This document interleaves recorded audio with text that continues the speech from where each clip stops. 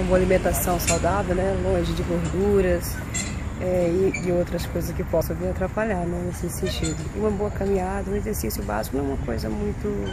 Não sou, vou dizer que sou obcecada por atividade física, mas sempre que posso, estou aqui justamente para manter a forma.